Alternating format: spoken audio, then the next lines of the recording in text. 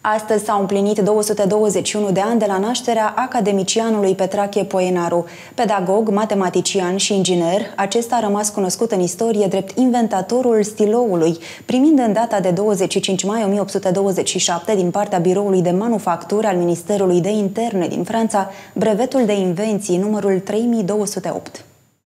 Petrache Poenaru s-a născut în data de 10 ianuarie 1799 în satul Benești, județul Vâlcea. După terminarea școlii la Craiova, a lucrat doi ani în calitate de copist la Episcopia Râmnicului.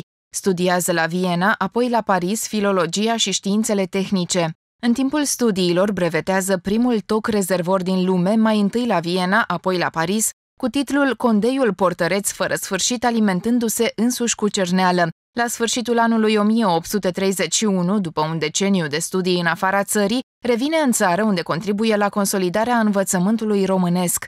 În data de 10 septembrie 1870 este ales membru titular al Academiei Române. A trecut la domnul în data de 2 octombrie 1875 la București.